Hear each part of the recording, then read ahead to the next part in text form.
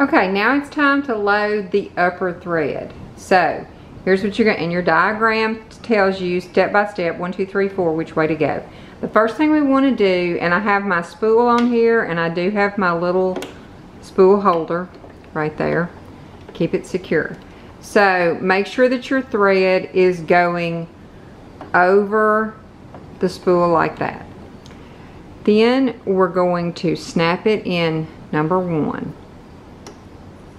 Make sure it gets in there good. All right, the next thing we're gonna do is come around the back of here. So put your finger on it, come around the back of that guide, and you can feel it kind of snap into place there. It's going to lay down this channel labeled number two all the way down. And now we're on the front. Okay, the next thing we're going to do, you see where it's got the little U-turn with a 3 right here? That's going to be our next stop.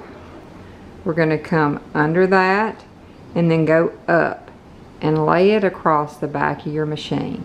Now, there's a take-up lever in here, this little metal lever, and it's shaped like a hook. In order to get it in the right place, you're going to need to turn your hand wheel toward you until that comes up. Then you can move your thread across to the left and snap it in there. If you don't feel it snap, hold your thread here and pull it towards you until you feel that little snap as it goes all the way to the front. Okay. Now, oh, and I forgot to mention, when you're doing this, make sure that your foot is up. Okay, make sure that your presser foot is up there are tension discs in here and whenever the foot is down those tension discs are closed so the thread can't get in there. So raise your foot up that lets them get in the tension disc and then when you put the foot down it closes on the thread. Okay we're at number five down here. It's just going to go straight down. And next is going to be this little hook right here. So to get it in that little hook what I do is I hold my thread horizontally then slip it right in between this upper metal bar and then the thin hook there. And if you look at it, it's shaped like a hook. It kind of goes around the needle there. Twist it so that now it's going to the back and then pull it and bring it under. Okay, Because this is a little hook and you have to go around it and then the back and then come out through the front. Then we are ready to go through the needle. Now at this point, you can let your presser foot down because you need some tension on the thread. Um, this has an automatic needle threader and sometimes these things work and sometimes they do not. We're going to try it. You have to make sure your needle is in the uppermost position, which it should be since your take-up lever is up here. And you're going to press down all the way.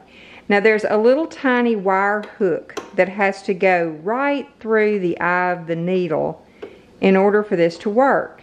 And in my experience, sometimes they go through and sometimes they don't. So you're going to bring your thread to the left, come under the left hook, and then slide it right in the middle of those metal guides. And it didn't go through the needle, I can tell right then. So sometimes you have to kind of work with it. I think it made it that time.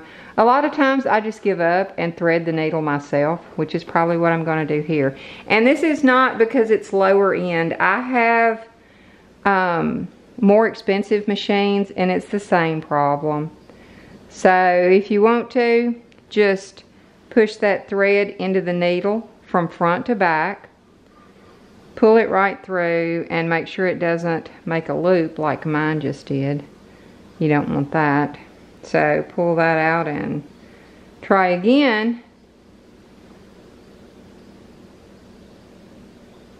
And be way more careful this time.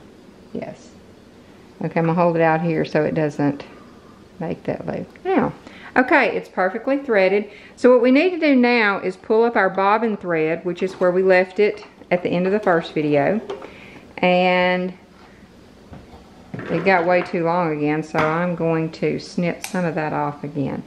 We need to pull this up through the presser foot. It doesn't need to be coming out of the door here. It needs to be coming out where the needle is. So what you want to do is turn your hand wheel slowly towards yourself. Hold the needle thread out to the left. Turn the hand wheel slowly and it will catch that thread. Did you see it pull up that loop right there? Then you can pull the loop and now your machine is ready to sew. Congratulations! Check back for the next video. We'll learn something else. Bye.